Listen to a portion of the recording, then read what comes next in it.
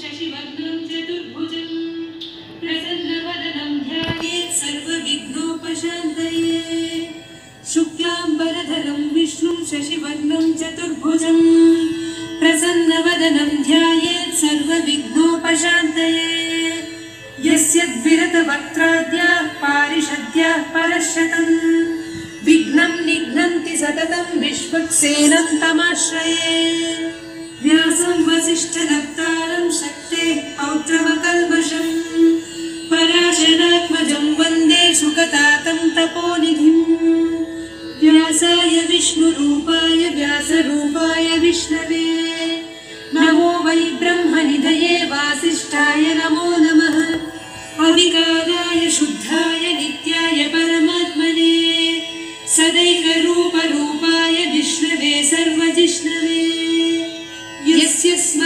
स्मरणमात्रेण जन्म संसारबन्धनात् विमुच्यते नमस्तस्मै विष्णवे प्रभविष्णवे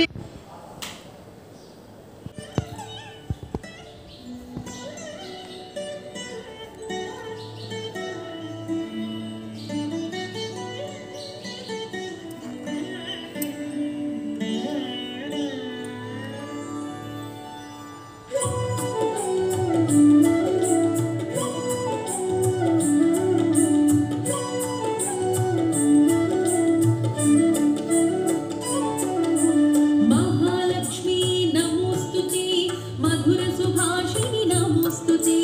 माधवि सुन्दरि सोमसम